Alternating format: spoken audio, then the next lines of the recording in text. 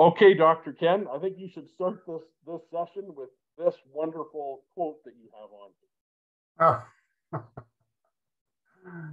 Thank you, JP. Appreciate the intro. And uh, again, I want to welcome, as JP did, all of you spending part, at least part of your evening with us for this most, most important information uh, relative to helping to make it safer for teachers and students in laboratories. Um, much, much of a need is there.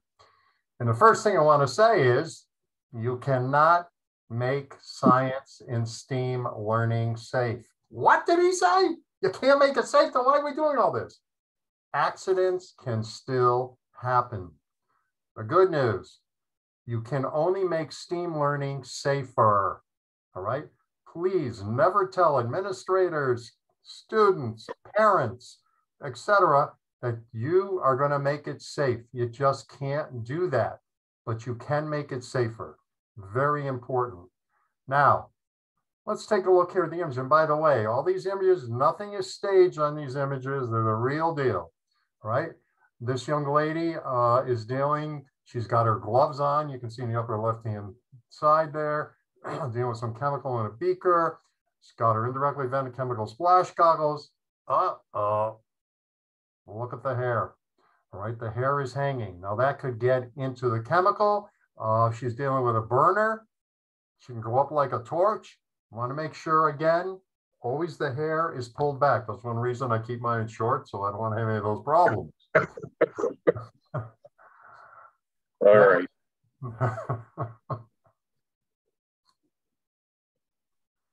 okay, to complete the initial, secondary, and tertiary safety assessments of these planned laboratory activities, educators need to know what to look for so that potential hazards, right, potential safety hazards we're thinking about here, and resulting health and safety risks affecting potentially dangerous situations can be evaluated from an informed, educated perspective. We're not just guessing.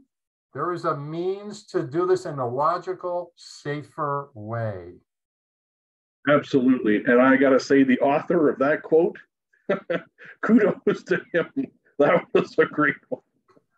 They let anybody in. Yeah, uh, they sure anyway, hazards and risk. All right. Are you aware of what to look for when students or staff members bring you an outline of their inquiry-based activity, which you should be asking for, by the way? You just don't assign something and then go ahead and do it, kids. No, always check first. You need to evaluate the educational value of the activity or items used against the potential safety hazards and resulting safety risks associated with it. In other words, safety, educational value. You want to make sure they're in balance. Looking at the procedures and suggested materials, equipment, possible chemicals, or biological specimens, there are a handful of red flag items or processes that you should recognize and prevent students from continuing onward in their planned pursuit of knowledge. Let's look at how to recognize potential hazards and resulting risks in your school. Now, one thing I want to say before he flips this slide real quick. I hope this is not representative of your chemical storage area in these photos, this photo here on the right.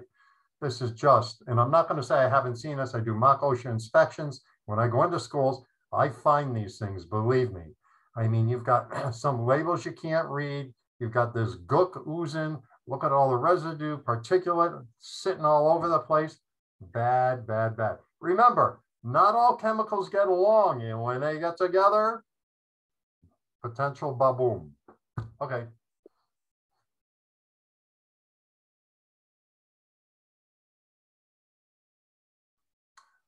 items that STEM programs should not have on hand, should not have on hand. These items have a greater inert risk than the educational utility or value. All right, aerosol candles products, acetone-based solutions, alcohol fuel burners. Please, if you have alcohol burners, get rid of them. I cannot tell you, I do expert witness work, how many of these involve alcohol fuel burners. The accidents are unbelievable and they're still out there. All right, they happen.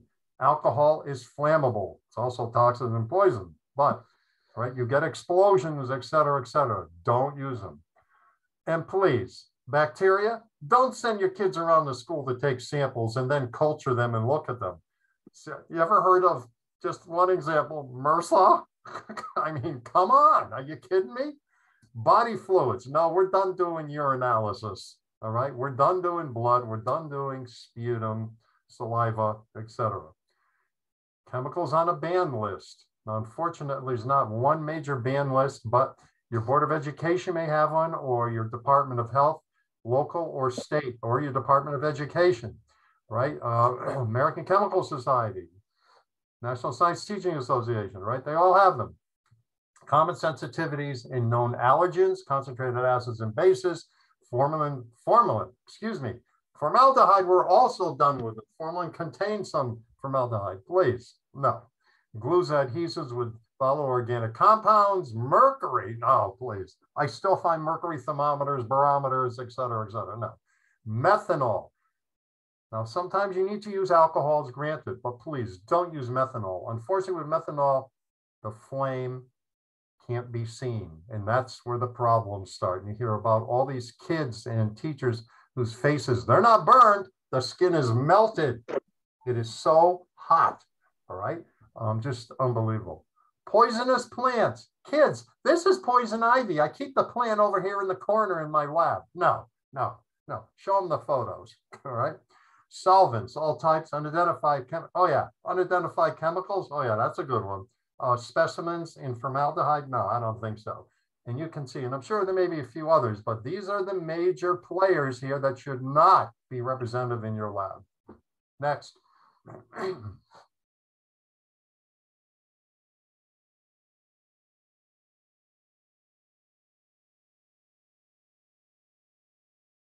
Okay, identify potential hazards in STEAM programs, all right? And remember STEAM, this also is for science, it's for tech ed, art, not so much math, but even though sometimes there are a few things in math that I find. Be able to identify possible risks in STEAM programs can often be achieved by a combination of appropriate safety training and awareness, knowing what to look for, raising your level of awareness, knowing what to look for, but also looking for it. By following the proper procedures and safer, there's that word, safer with the R, operating procedures in the lab, as well as recognizing possible sources of hazards, you can prevent, let me repeat that, prevent the majority of possible accidents. They, most of them are preventable, all right? If you're uncertain, always ask. Always perform a hazard analysis, risk assessment, take the appropriate safety action prior other words, you do this before, all right, any planned lab activity and also demonstration. Next.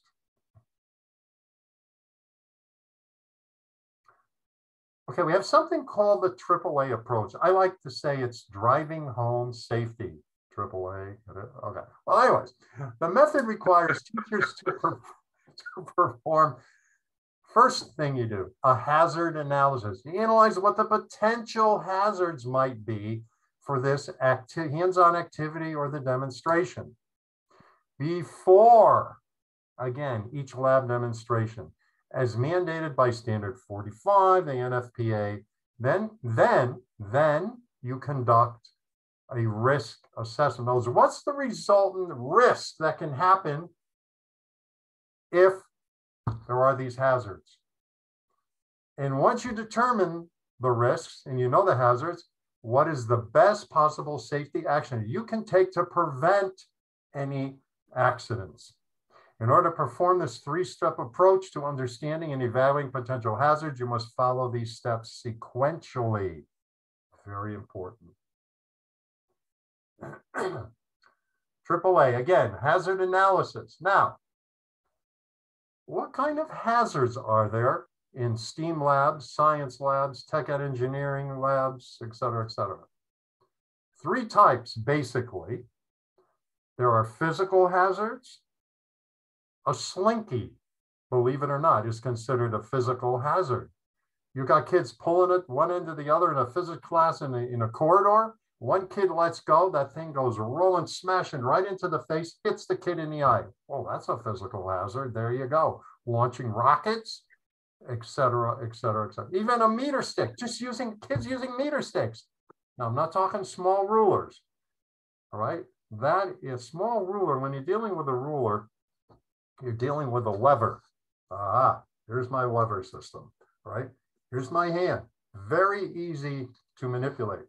When I'm dealing with a meter stick, it's about three times this length, all right? Much more difficult to determine where that other end is gonna be. So that's why we're saying here, you need to have eye protection. Chemical hazards, we're all familiar with chemical hazards, acids, bases, flammables, toxins, et cetera, et cetera. Biological, all right? When you're dealing with the biological, you're dealing with primarily microbes, but even the big boy and girl plants, as we said, the poisonous ones can be a hazard right? Uh, SDS, that's primarily with chemical sort, and in tandem with teacher experience, safety notes from lab activity, use of a chemical hygiene plan, and trusted safety authorities. Now, trusted safety authorities might be another colleague, right? One who's been in the game for 30, 35 years and is a real safety advocate, right? Uh, it might be your health person, head of the health department in town. It might be your fire marshal, et cetera, et cetera.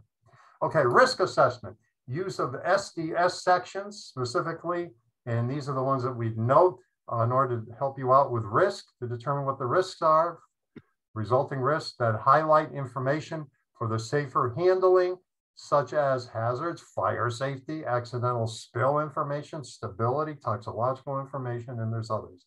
But that's how you determine the potential health and safety risks based on the hazard analysis. Moving forward, step three is the safety action. Determine the appropriate action based on the types of potential safety hazards and resulting risks. We've already said this.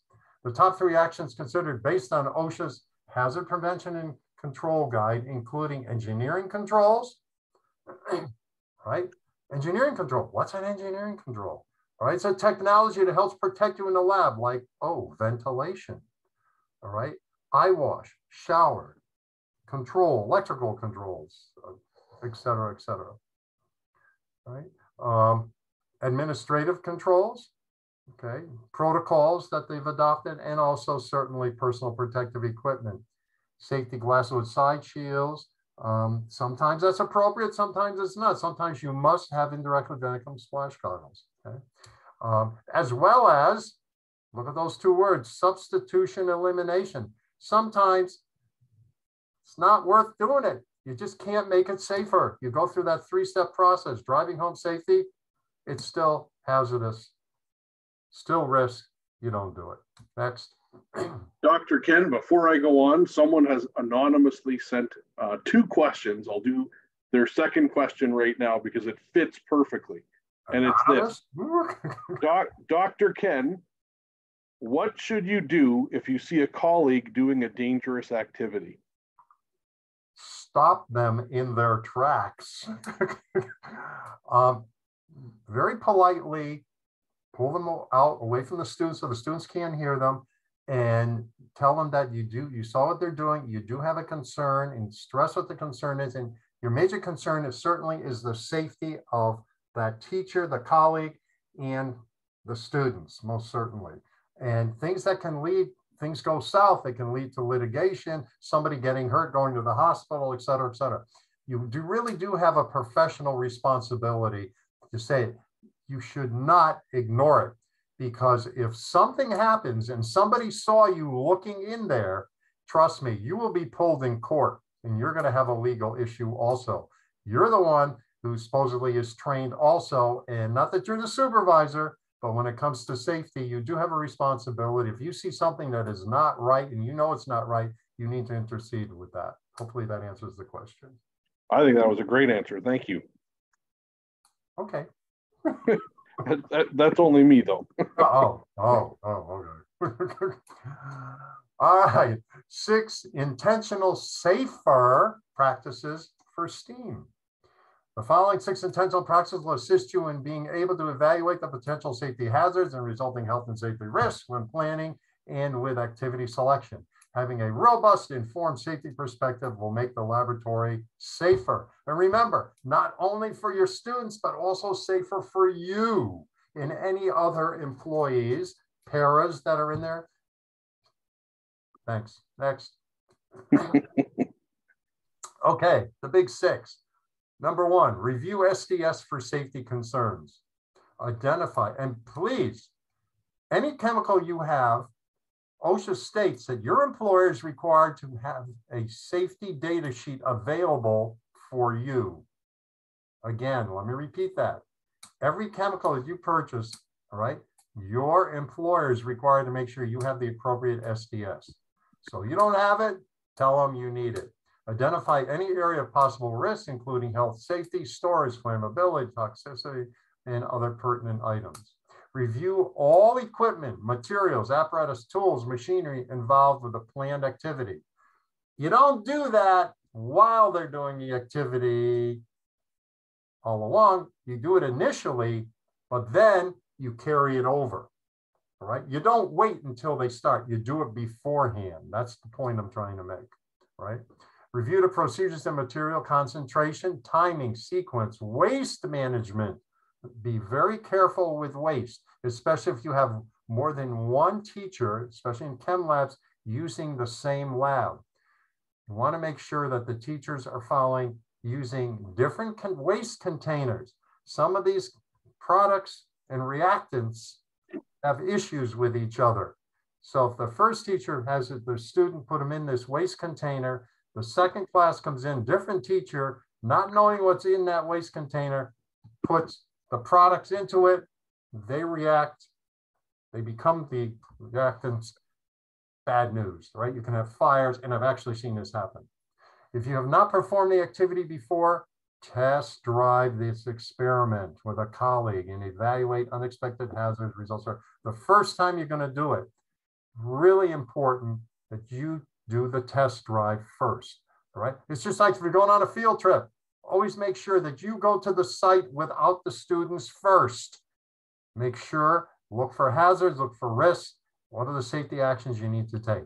All right. Then, if you can do it in a safer way, then you bring the kids out. Don't just bring them out there and go, oh, gee, I didn't know. No, that's not going to cut it when you get sued. Allow for substitutions of hazardous chemicals for less harmful or making curricular expect meeting curricular expectations. Ask if the educational value of doing the activity outweighs the risk. AAA approach, driving home safety. Okay, here's some examples, all right? The W.T.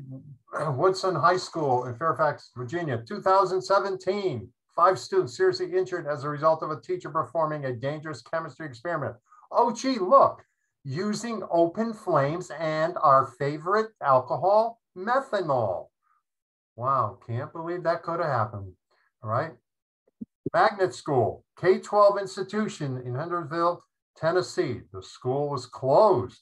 They kind of closed the school after 12 students were actually burned in a chemical flash fire in the science lab, 2018. Should never have happened. San Diego, all right, Union District 2019, middle school, third, look at this 13 year old, all right, had his face severely burned due to teacher recklessness. In fact, I hate to tell you this, friends out there, but most of my expert witness work, I find, because that's my job as expert witness, I find most of the teachers and administrators, they're not negligent, they're reckless. They knew, they knew what they were doing was unsafe, and yet they still allowed the kids to do it, right? Um, to just not go. And look, again, use of an alcohol. Now, again, don't think because you're using a different alcohol from methanol that you can't have injuries. You can. But methanol is extremely dangerous compared to most of the others. uh, the Cal County District, Georgia, 2019, high school student 15, badly burned across his face and body in a fire in a science lab. All right. Look at this poor kid. Unbelievable. You know what the sad part is? Those injuries are not going to go away uh, the scars. When that kid gets up in the morning, looks in the mirror, as old as that kid gets, he's going to find those scars short of a face transplant. Okay. Methanol, oh, methanol accident in Virginia school. This one happened last year, 2022, at the high school in Virginia. Chemistry teacher, 15 years, 15 years of experience. I don't know what they were doing for the 15 years. I don't know what the experience was, but four students were burned when methanol ignited during a demonstration. You ready for this? No PPE or preventive measures were used by the teacher. Who on God's green acre has kids work with active flames and methanol without any minimally, minimally, no eye protection? Give me a break. No gloves. No, I'm, um, I'm, I'm telling you, unbelievable stuff. The activity was not known to the school administration. No potential safety hazard. And oh, geez, what a shock this is, huh? No potential safety hazard and now no resulting health and risk assessment prior to doing the activity.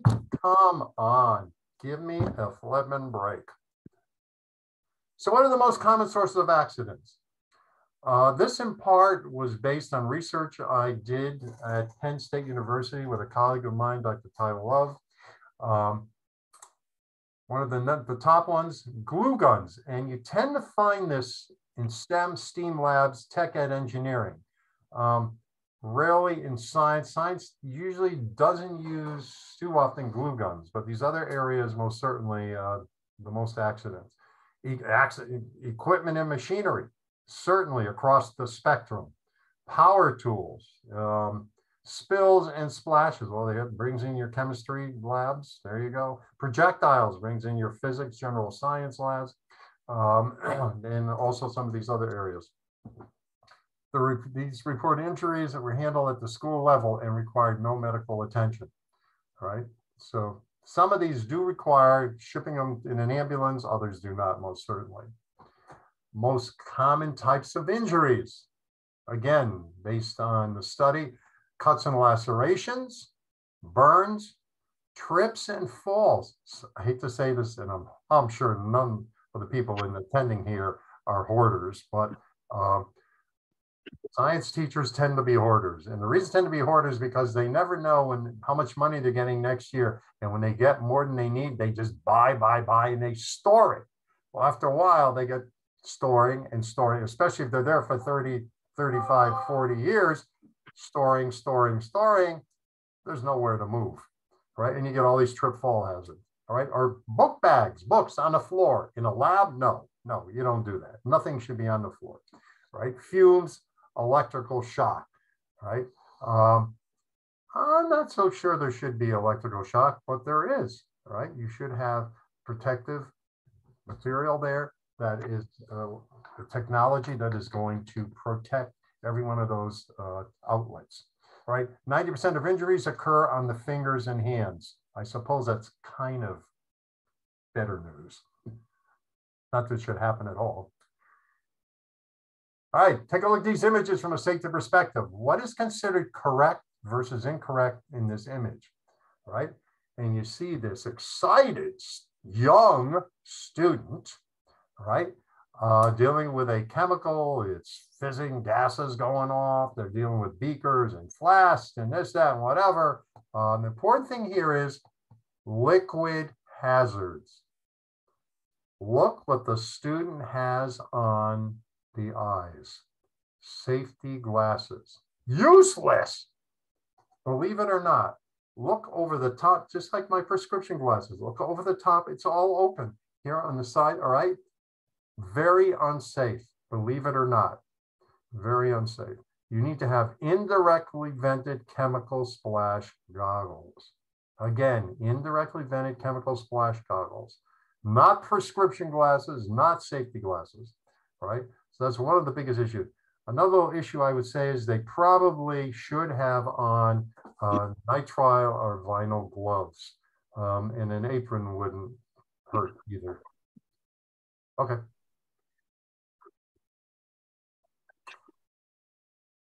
Okay, what's the deal here? What's considered correct or incorrect? All right. Well, here we go again. And these are older students who should know better after years and years of safety training. Look what they have on their eyes. This is just craziness. All right. Safety glasses, useless. all right? You need indirectly vented chemical splash goggles, all right? That's the standard that needs to be followed. That's a legal safety standard under OSHA PPE, personal protective equipment. It's also better professional safety practice under NSTA and others, and also uh, other companies that provide safety. So uh, very, very important. Um, I would also urge, again, um, have covering on the hands. They don't have gloves. They got nice lab coats. Next. Take a look at this image. All right, same deal. And I know you're going to get this one right away because we talked about it earlier.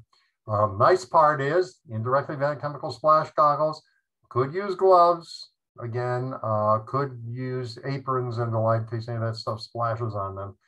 But the young lady, again, hair hanging down, not safe. All right, very unsafe. Make sure your students, or if you're an administrator, make sure you go in and you observe the teachers, make sure the kids' hair are pulled back. Very important. Next. what the data tells us, okay? Safer engineering and CTE instruction. Gee, that sounds like a familiar research project. Oh, wait a minute. That's one that, oh, there's my name in the lower right hand corner. See, I'm not fibbing, guys. I'm, I'm, I'm a truth, I'm a truth guy. Okay, what's the data tells us? Data analysis from a study completed in 2020 investigating safety in STEM and CT labs. Key findings. All right, now some of these are going to be shockers. Now, this is what we found. Now, we had approximately a thousand people involved nationwide in this study, right? So, and it's probably one of, this was long overdue. 10, 15, 20 years was when the last ones were done. just crazy. Anyway, 80% of science and STEM teachers, 80% reported having one injury in the past year. 80% had at least one injury. Are you kidding me? Labs are, more unsafe than people would believe. You know, I always end in my expert witness work when I write to the jury, I say, and you think you're sending your kid to a safe place. I would just have to show them that statistic. It's just crazy, right? 51% of the schools nationally have had an injury or a litigation. Over half. 35% of the teachers of STEM and CTE did not have any formalized safety training. Well, listen, that is really encouraging. Just really encouraging. 35%, over a third of them had no safety training, and they're in there with our kids. Mm. Completing formalized safety training can reduce accidents by 51%. Here you go. Here you go. Safety training can reduce accidents by 50. Doesn't eliminate them, remember, you can't make it safe, but it obviously really makes it a lot safer. 77% of accidents involve students. Well, that means that uh, the balance are the teachers. Hmm. 62% of the teachers regard students not following instructions as the leading cause of accident injury. Very interesting. 62%. That's huge. 69% of the teachers do not use safety acknowledgement form. All right, you know what? One of the easiest ways to cover your butt if you're getting sued is if you use safety acknowledgement forms, because these forms have to be signed by the students and the parents and it tells what the safety protocols are that the students are responsible to follow. I'm not going to say it leaves you off the hook from lawsuits, but it certainly does help your case. Only 45% of schools have ANSI ISEA Z87.1 D3 2020 indirectly vented chemical splash goggles. Right. Some of these teachers, they want to save money for their school districts. God bless them. Unfortunately, they go to the dollar, excuse me, since the inflation, I should say the dollar 25 stores. you go to the dollar 25 stores and they buy safety glasses, or I've even seen goggles. Trust me, these are not ANSI ISEA Z87.1D3. Doesn't meet the standard. All right, this is cheap crap out of China. I hate to say that, but it's true. It's true. All right. What happens if something hits it? It's going to shatter. Where are those pieces going to go? Let's see. The projectile's coming this way.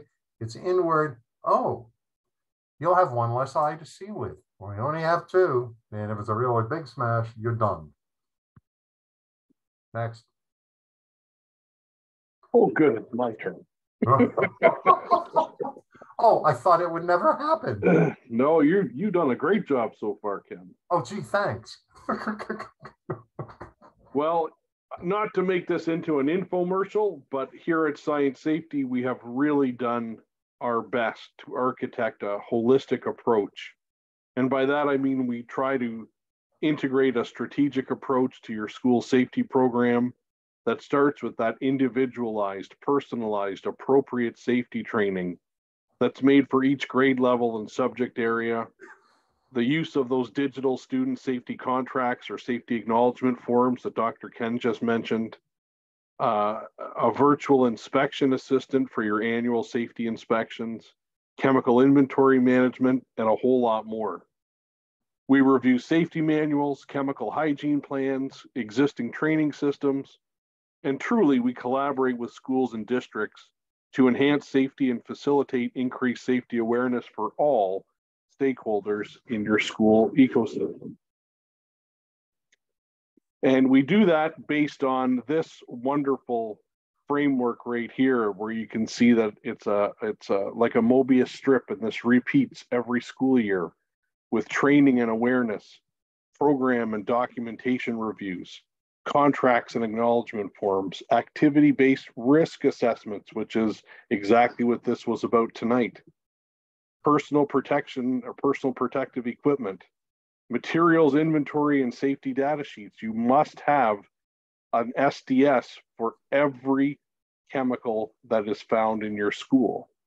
Facilities and lab inspections, critically important.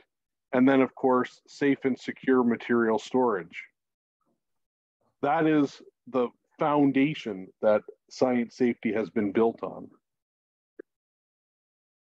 And we do that through all those different pieces that we talked about. Uh, and Dr. Ken is heavily involved in making all of that happen, making sure it's all up to legal standards and better professional safety practices. Is that right, Dr. Ken? Right on, brother.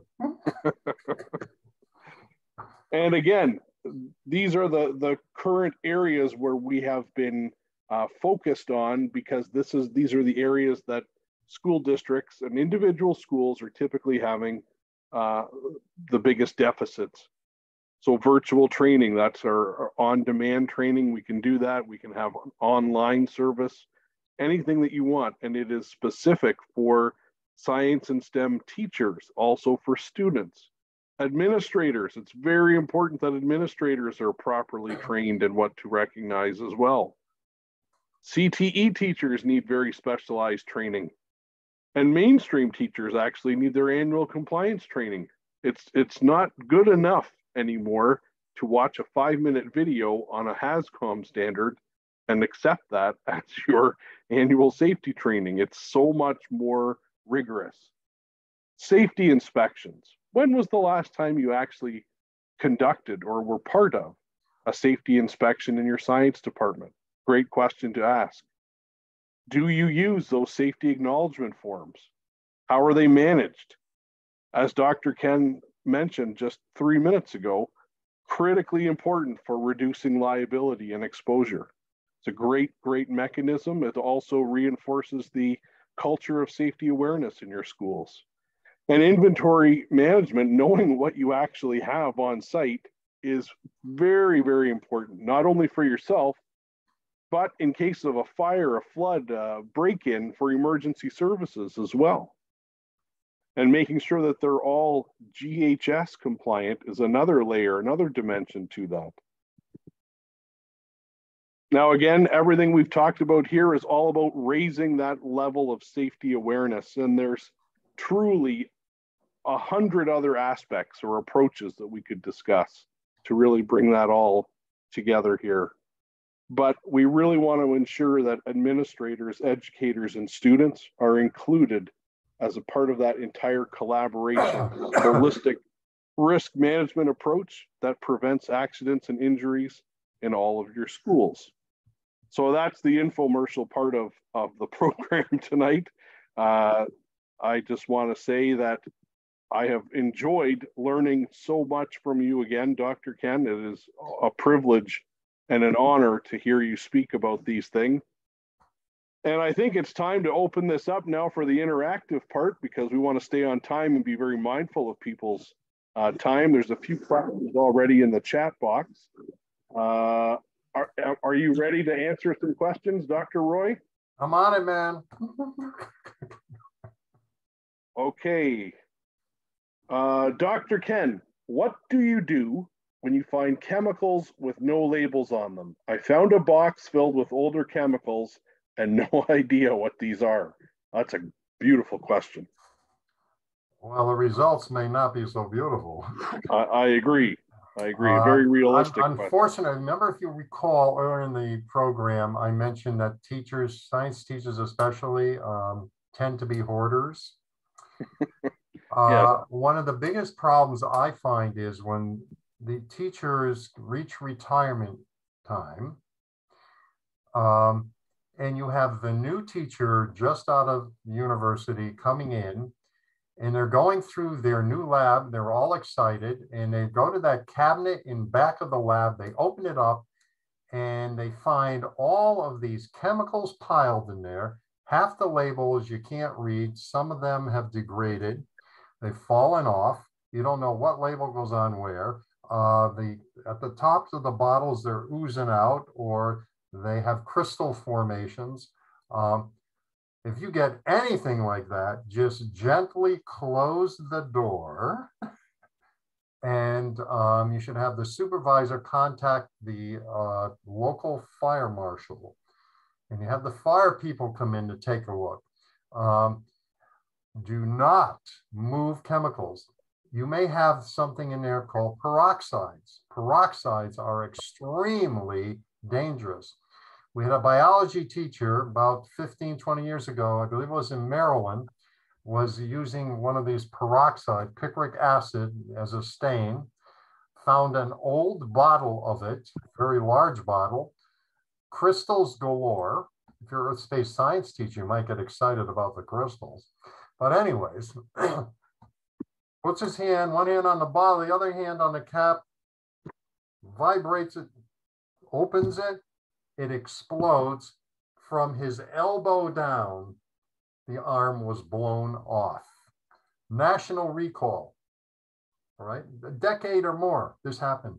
To this day, I still find bottles of picric acid hoarded away in cabinets in chemistry labs, especially in high schools. This is very dangerous stuff. All right. So again, to go back to the original question, if things look fairly orderly, you can read all the labels and they also, by the way, have dates on them, which you need to do with your inventory. And you don't see anything that's potentially outdated. And again, remember some chemicals, once you open them up, the clock is ticking, especially with peroxides, but there are others, right? So you want to be very careful. If it looks like a clean, it was taken care of and it's something you can handle, most certainly go ahead and do it. But if you have any any concern about some of the things that I've mentioned, gently close it and go get help. Get somebody that knows how to deal with it. And then also may have to call OSHA. All right. If, if you're under federal OSHA in a private school or a public school, you might be under a state plan, uh, Department of Labor, whatever. But get the help. Do not handle it yourself. All right. Because it can be extremely dangerous. Hopefully and if you're for, fortunate enough to have a chemical hygiene officer in your area, ask that person and they can provide that guidance for you as well. Okay, let me just add a little caveat to that. okay, fair not, enough.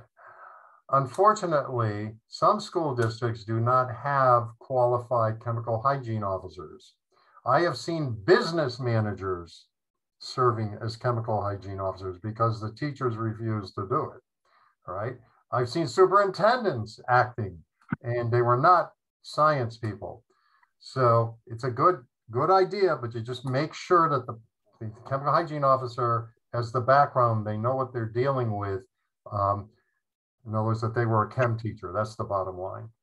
Yeah, But- but qualification. It's a, it's a very good point. Right, qualification is critically important Yeah. for sure. Ken, I, I've answered this question on the chat box, but I just want you to validate it for me. Question is, is there a minimum square footage allowance per student in the lab? Occupancy load, your favorite topic. Um, This is, you just took the words out of my mouth. This is one of my favorite questions, right? Because I personally almost got my fanny fired on the first year as a director in a school district because I found out that we far surpassed the occupancy load. Now, this is not an OSHA deal. This is the fire code, NFPA deal. Most states have adopted it. Now, even if they didn't adopt it, under better professional practice, it is a requirement. And the courts see both of those as legal safety standards are equal to better professional practices. So even if you're not under legally, you are under better professional safety practice. 50 square feet per occupant net. You take the square footage of the lab and you subtract out all the furniture, all the counters, et cetera, et cetera, because it's net. Then you divide by 50, and that tells you how many, now again, this is not class size.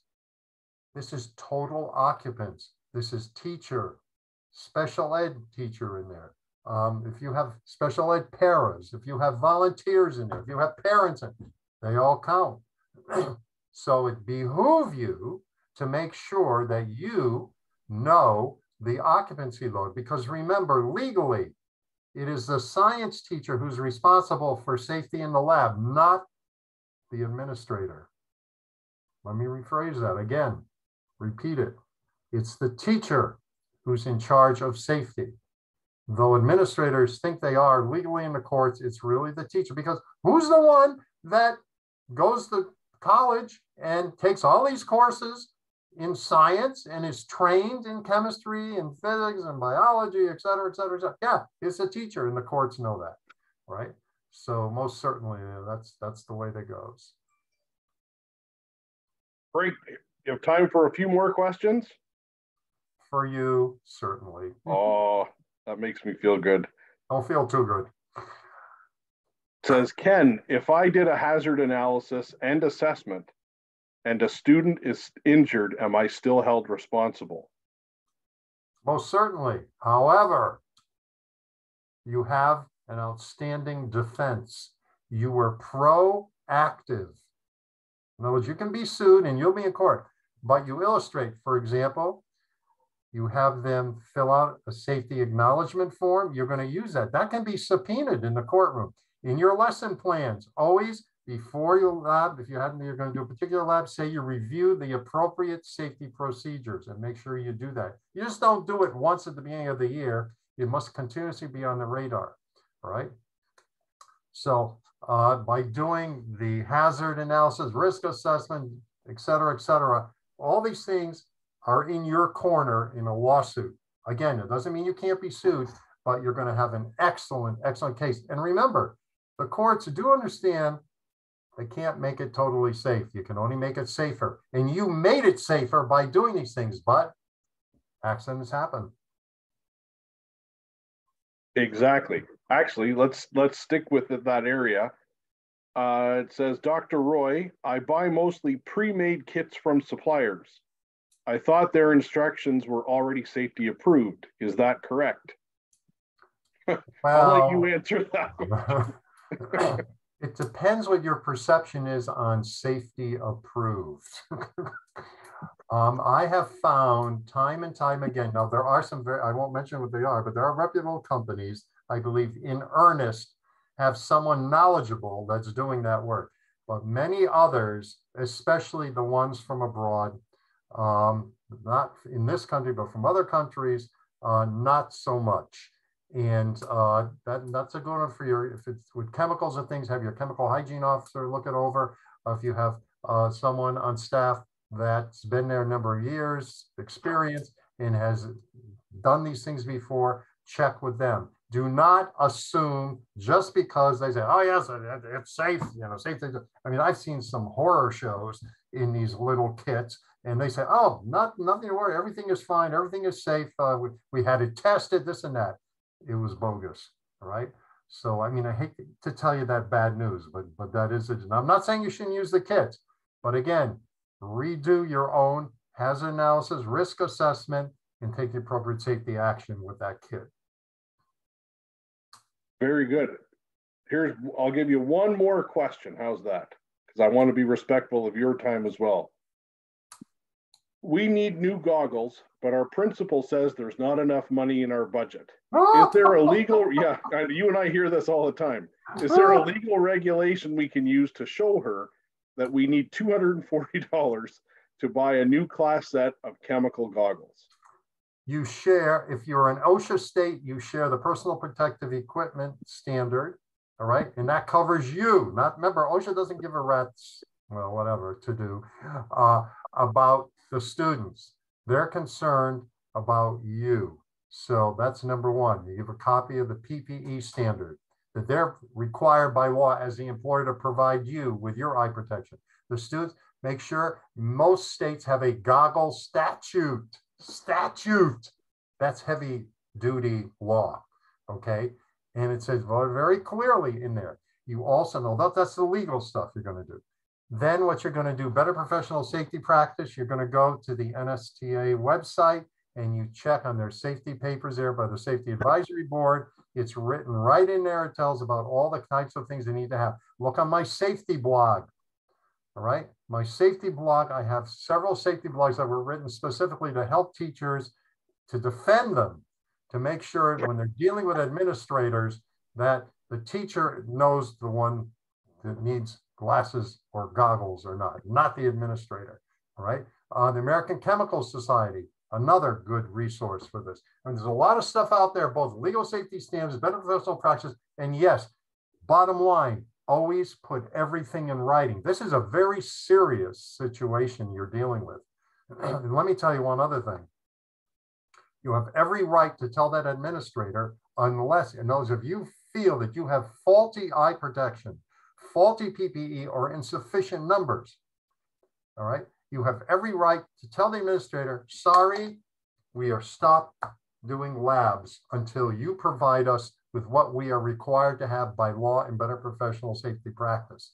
All right. I would also cover your butt, always put it in writing. I would also go to your union, let your union rep know about it.